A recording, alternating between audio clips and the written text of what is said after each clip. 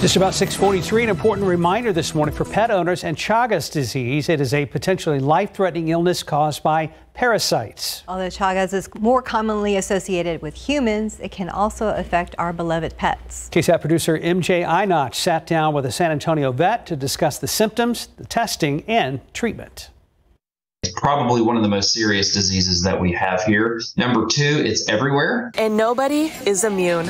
Dr. Roy Madigan is not only a medical director, but the principal scientist for the canine Chagas treatment study at Lackland Air Force Base. He says even people that spray their yards and get their pets groomed can still be affected. And he says most of the cases he sees are asymptomatic, but there are signs to look out for. When we look for disease, when we have Chagas disease in dogs, we always do further testing because we need to assess things. And uh, certainly things like collapse, coughing, you know, anything you know, breathing wise, that those are going to be some some ideas for you. He stresses that while humans can't get Chagas from their pet, those nearby bugs can bite anything.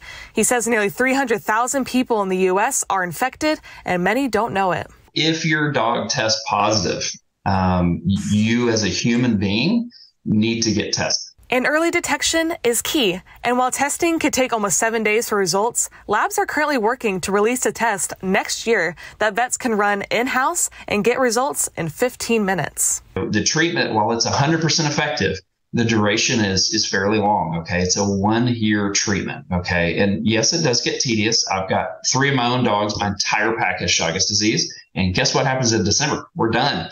We're done with treatment. So um, and yes it's like prison one day at a time right? So we're excited but it, it we do know that at 12 months, uh, every dog gets better. The majority of dogs, you know, 99% of them, we're going to be able to help them out and give them a good life again. And Dr. Madigan encourages owners to pressure their vet to run those tests and to always keep in contact. MJ Einach, KSAT 12 News.